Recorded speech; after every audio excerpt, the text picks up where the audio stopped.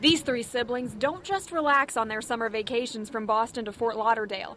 They save the lives of baby sea turtles.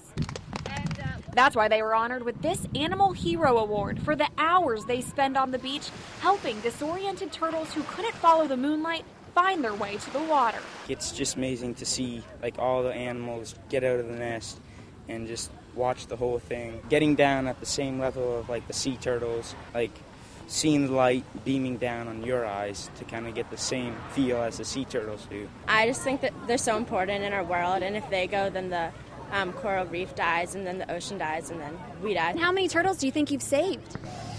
700. I think it's good that I saved that much. And this nine year old from New York City, Georgi Arohovitis, does the same thing when he visits for the summer. Four years ago, he was like these campers, interested when he saw sea turtle nests on the beach. And now, he's helped rescue more than 900. It's a fun experience saving them, and they're so cute. Georgie worked with firefighters to save sea turtles that ended up in a storm drain like this one. And even after the firefighters left, he spent hours saving more.